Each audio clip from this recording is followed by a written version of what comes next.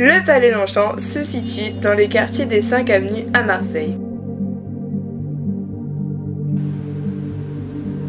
Il a été édifié à partir de 1862 par la municipalité afin de canaliser l'arrivée des eaux de la Durance dans la ville via le canal de Marseille.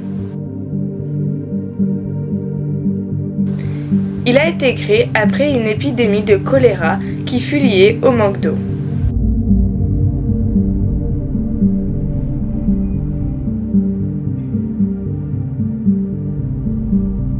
C'est l'architecte Henri Espérandieu, également architecte de Notre-Dame de la Garde, qui a mis en place l'arrivée de l'eau sur le plateau Longchamp. Il fallut de 1682 à 1869 pour en faire un ensemble architectural monumental.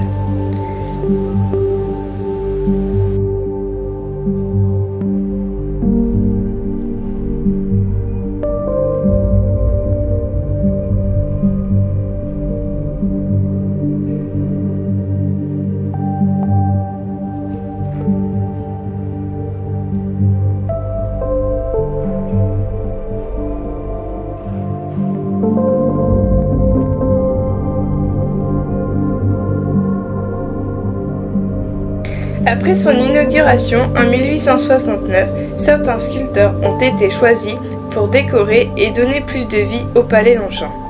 Antoine-Louis Baird y a ajouté des lions et des tigres, tandis que Jules Cavelier a réalisé une fontaine au centre qui symbolise l'arrivée des eaux.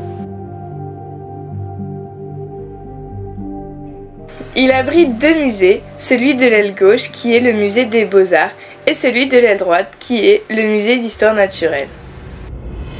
Il y a trois jardins derrière le palais Longchamp, cependant, de nos jours, seulement deux sont ouverts au public. Le premier est le jardin public, dit du plateau, est inauguré en 1869.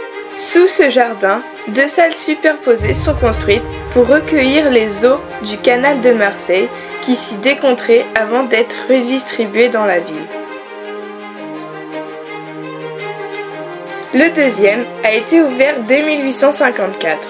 Il montre la passion du Second Empire pour l'exotisme et le voyage. Cependant, il ferme en 1987 à cause de la désaffection du public. Il y a encore les cages aujourd'hui qui évoquent la grande époque du zoo. Elles sont remplies de faux animaux colorés.